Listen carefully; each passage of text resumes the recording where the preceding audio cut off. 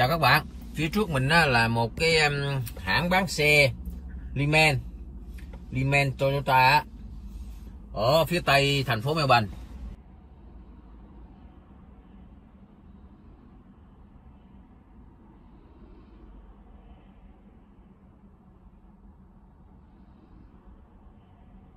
Cái dãy bên này là xe xe cũ các bạn, xe bán lại đó. Xe người ta chạy rồi người ta không có thích nữa, người ta muốn đổi chiếc xe khác người ta để lại. Vì các bạn thấy chiếc xe nó có bản số rồi đó. Đây có một chiếc xe có bản số Toyota hiệu RAV4 mà hàng top nè. Bây giờ mình qua đó mình coi thử chiếc xe đen đen á các bạn. Chạy quá trời luôn. Đường Ballarat. Con đường này nó kéo dài từ City lên tới thành phố tới thị trấn Ballarat. Thị trấn Đào Vàng luôn đó xa. Thiệt là lớn luôn. Ở đây là những cái chiếc xe mà họ bán lại cho dealer mua lại đó. À, hay lắc gì đây nữa này. Mấy chiếc xe nó có cái đuôi ở sau đó. Mình sẽ đi tìm một cái hiệu nào đó ha. Mình đi vòng vòng mình chơi. Vừa chơi vừa đi. Dạ.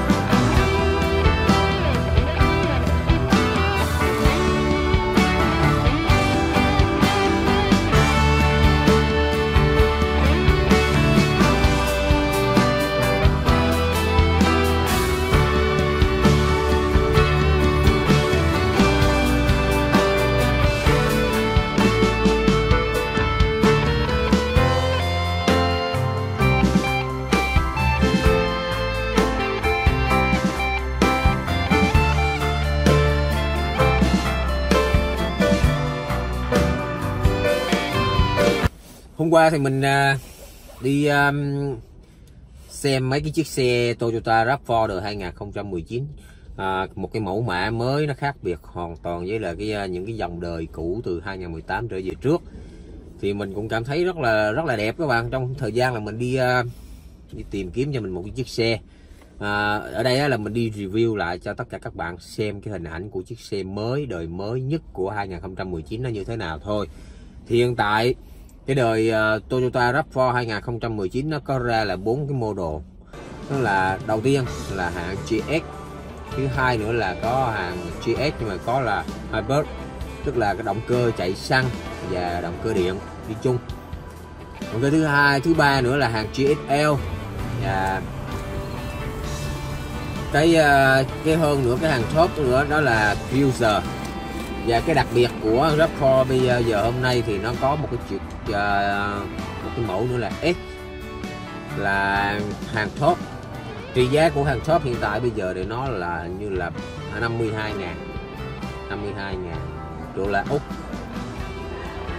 Thì mình uh, đi review cho tất cả các bạn xem. Mẫu mã rất là đẹp. Là của cái chiếc uh, Toyota RAV4 2019 với cái um, model hybrid là chạy vừa chạy xăng và chạy chạy điện. Đây là một cái một cái những trong những cái uh, hệ thống mà mới. Trong khi trên vấn đề quốc tế là họ kêu gọi là chạy vấn đề ô nhiễm môi trường không? Thì um, nếu mà một cái chiếc mà Toyota RAV4 đời mới bây giờ hai chấm chạy uh, nó tính theo uh, tiêu thụ nhiên liệu thì chạy 100 cây số thì có thể lên tới à, 7 chấm à, uh, 7 lít. Nếu mà có chạy à, 6 lít rưỡi hoặc 7 lít. Còn nếu mà chúng ta chạy có dùng động cơ xăng và điện đi chung thì nó chỉ còn là 4 lít 7 thôi. Đó là dành cho hai chấm và two wheel drive tức là chạy hai bánh trước.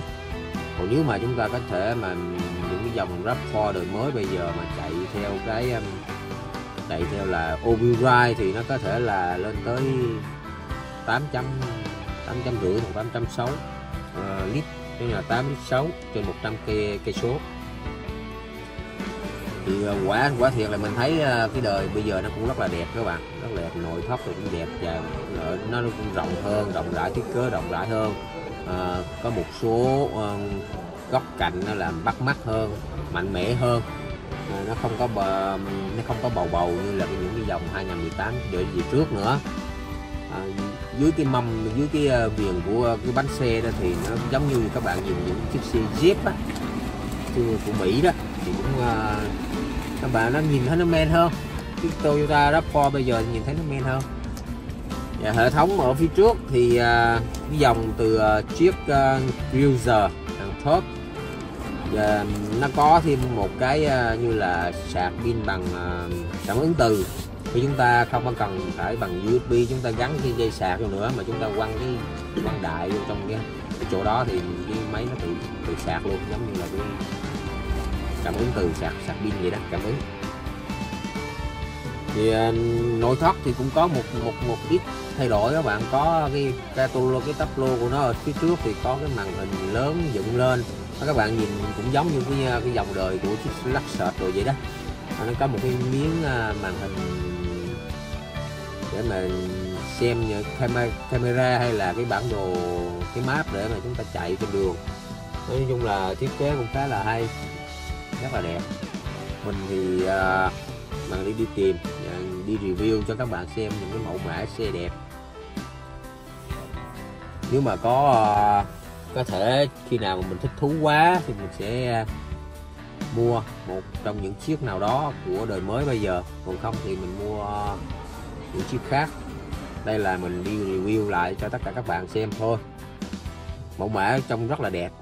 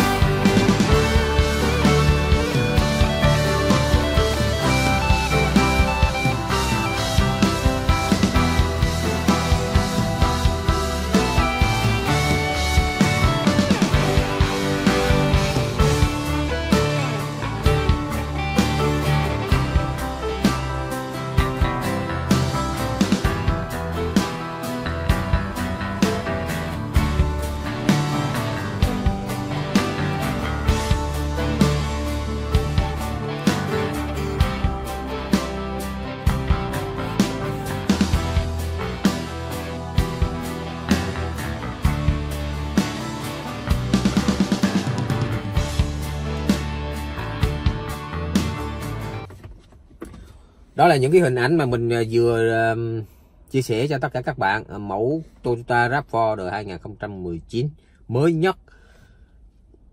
À, nếu các bạn thích về xem về xe thì hãy comment cho mình biết.